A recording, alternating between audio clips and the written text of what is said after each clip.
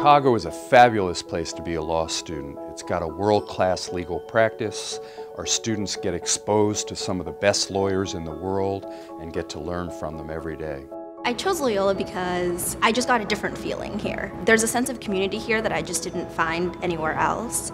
When I was going around and looking at law schools, everybody was nice, but I don't think that there was a school that I went to where there was a true feeling that I knew that everybody was rooting for each other. And I think that that is certainly true at Loyola, that everyone from the students to the faculty is excited for each other's success.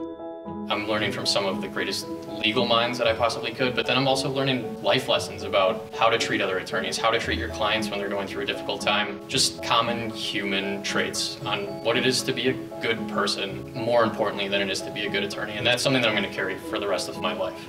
Law students today have a tremendous opportunity to learn by doing. We have some of the best experiential learning programs in the United States. Our clinics, our externships, simulation-based learning in class, the administration, they truly care about us and they're always willing to make those connections for us, to find us the resources we need to succeed. I mean, I've had opportunities to work for a policy internship here in Chicago. I had a job just this past summer at a firm. In the city, if you're a Loyola grad, you'll be taken care of.